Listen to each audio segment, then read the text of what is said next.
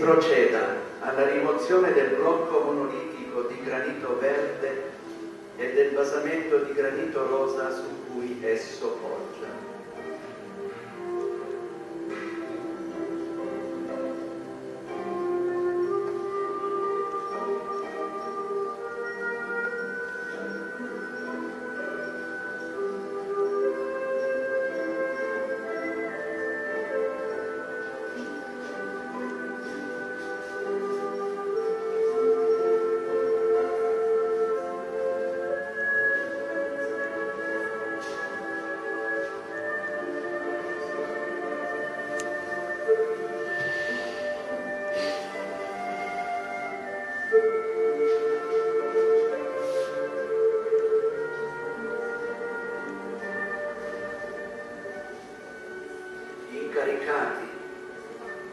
Procedano all'apertura del sepolcro e alla esumazione del venenato corpo di San Pio da Pietrelcina, al secolo Francesco Forgione, sacerdote professo dell'ordine dei frati minori cappuccini.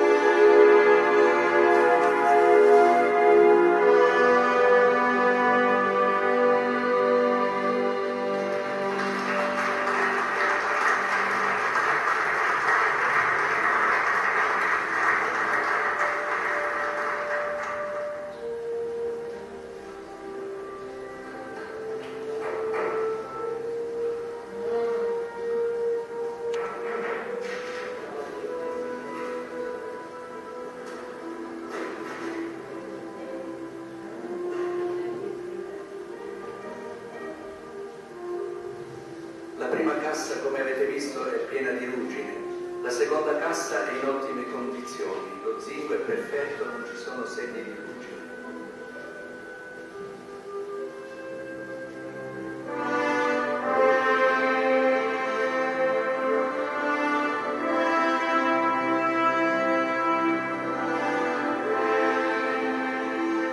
Yeah,